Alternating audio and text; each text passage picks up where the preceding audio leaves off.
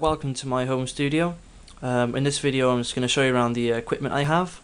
Um, also if you have any questions about any of the gear I have don't be afraid to uh, ask and I'll see if I can post a review for you as soon as I can. Um, okay, we'll start off with the uh, main piece of equipment in my studio. This is the computer. Um, this is the uh, 27 inch iMac. This is the uh, 2.8 gigahertz i7 version with 8 gigs of RAM. Uh, I'll just show you here.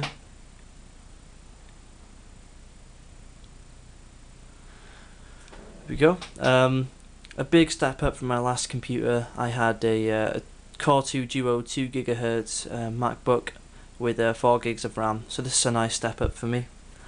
Um, also, for my studio monitors, I have the KRK RP5s. Um, good monitors for the price, £300 brand new, uh, that was two years ago. Um, I am looking to upgrade however to um, bigger speakers. Um, the 5 inch drivers in these speakers don't really give me enough low end. Um, so yeah. Also, I have the Focusrite Saffire Pro 40 interface. Um, great interface in its class, um, great for its price. Um, took me a long time to decide actually which interface I wanted. Um, it was a mix between either this one or the Motu 8 Pre. Um, the reason I chose this one was uh, it has some nice features such as the uh, monitor and dim switches here and um, also I have used Focusrite before and I know that their preamps are solid, I know they're transparent and I know they have very good um, AD to DA conversion as well. Also, um, in my studio I have the uh, M-Audio Axiom 61. This is a MIDI keyboard controller, um, very very good. I've had this since I uh, started building my studio two years ago. Um, I don't think I'll ever need another one. Uh, even if this breaks, I'll just go out and buy another one. um, main selling point of this keyboard for me is the semi-weighted keys.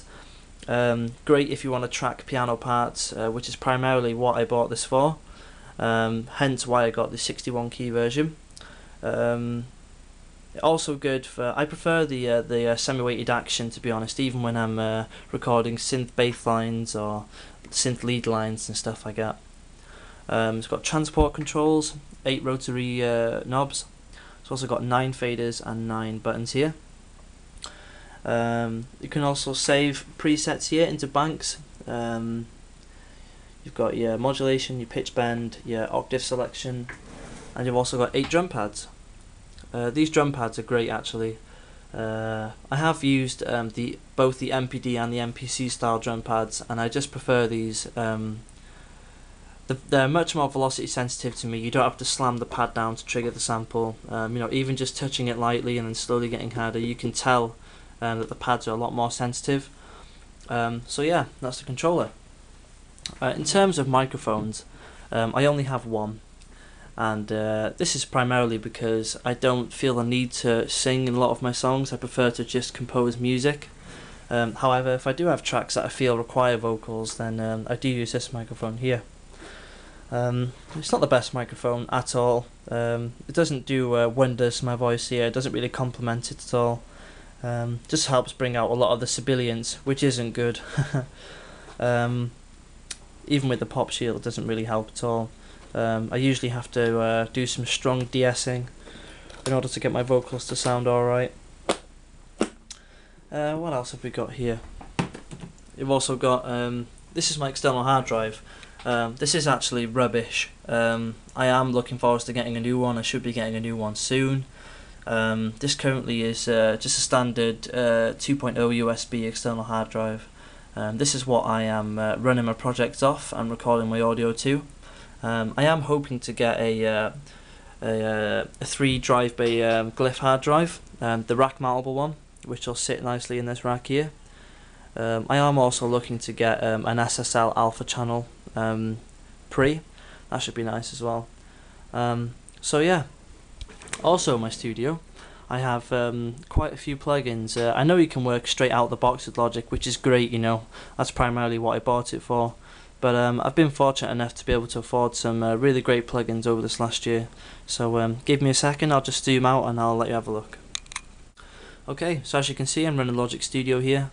Um, I used to be a Cubase user, but um, to be honest, uh, Logic Studio just it's the whole package. It's a great compositional tool straight out the box. You can just get right in there, get your hands dirty, and use it. Um, great mixing tool has some great features. I also love the layout um, with the mixer, etc. Um, very easy to use. Love the program. Um, okay, here are my plugins. Uh, as you can see, uh, I don't have a lot of plugins, but you know, uh, I really believe that if you have the knowledge and if you have the skill, um, the studio skills, you don't have to have a million and one plugins to be able to create good music. Um, learn what you have and learn it well, and you will be able to produce good results. That's my philosophy. Okay, uh, here we have Omnisphere. We also have Superior Drummer. And we also have four plugins from the T-RackS 3 Deluxe Suite. Um, I do have the whole suite, um, but uh, these are the four main plugins that I use. Um, this is the uh, the uh, Fairchild 670 compressor. This is great, really nice for um, a drum bus if you stick it on your drum bus. Very nice, very nice. Add some good coloration. Um, we have the multiband limiter here. We have the linear phase EQ, and we also have the Pultec EQ. This is again a really nice um, plugin here. Uh, all these plugins are actually my go-to plugins um, for th things like vocals, drums.